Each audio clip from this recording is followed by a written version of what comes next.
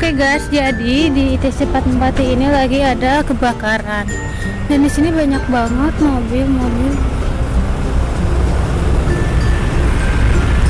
Ini kebakaran guys tuh.